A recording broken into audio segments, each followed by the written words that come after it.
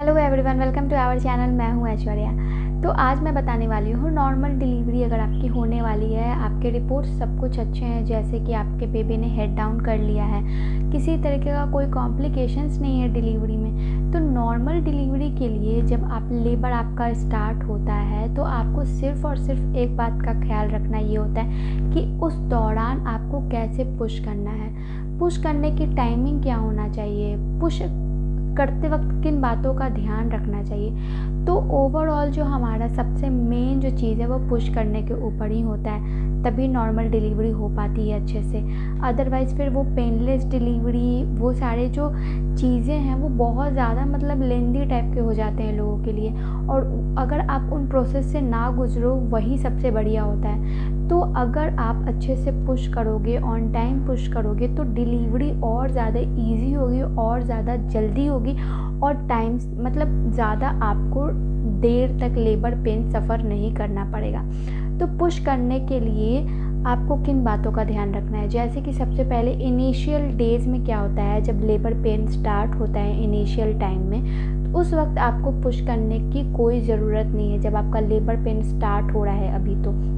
क्योंकि labour pain थोड़े समय के लिए होता है और थोड़े टाइम बाद वो आना शुरू करता है। तो उस वक्त आपको पुश नहीं करना है। जैसे जैसे दर्द शुरू हो गया, आप डॉक्टर के पास चले गए, हॉस्पिटल चले गए, हॉस्पिटल जो है, अभी मतलब वो आपको एग्जामिन करता है फिंगर टेस्ट के द्वारा तो फिर वो अभी बोल रहे हैं कि डिलीवरी में अभी टाइम है, लेकिन दर्द अगर आपका बढ़ना शुरू हो गया है धीरे धीरे बढ़ना शुरू हो गया है तो जब तक आपको नर्स खुद ना बोले कि आप पुश करो, तब तक आपको नहीं करना है। क्यों? क्योंकि क्या हुआ था मेरे टाइम में भी कि मैं अगर आपको बताऊँ कि मैंने पुश करना पहले स्टार्ट कर दिया था जल्दी डिलीवरी होने के लिए तो डॉक्टर्स ने ये बोला कि इस वक्त अगर तुम अपना एनर्जी वेस्ट करोगी तो बाद में क्या होगा कि तुम पुश नहीं कर पाओगी, थक जाओगे, जिसके कारण डिलीवरी में और ज़्यादा लेट हो जाएगा।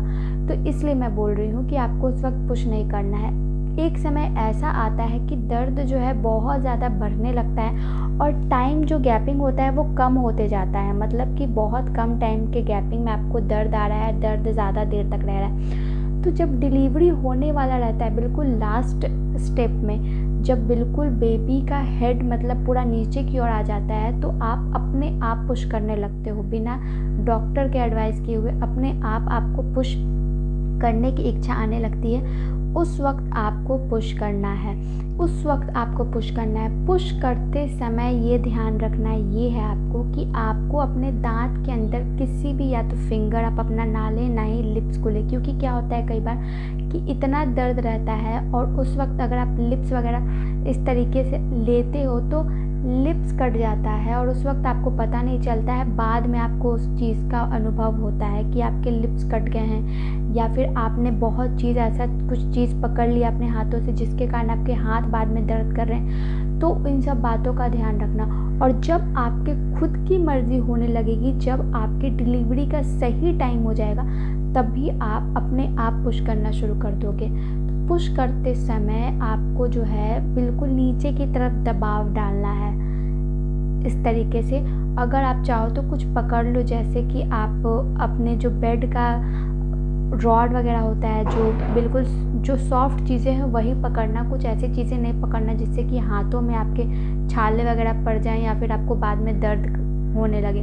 तो ये नॉर्मल डिलीवरी के लिए जो पुश करना होता है, वो सबसे मेन एलिमेंट होता है डिलीवरी का। तो पुश आपको सही टाइम पे करना है, सही तरीके से करना है। उस वक्त पुश नहीं करना है, जिस वक्त ज़रूरत नहीं है, क्योंकि आप थक जाओगे, फिर बाद में आप डिलीवरी में फिर सपोर्ट नहीं कर पाओगे।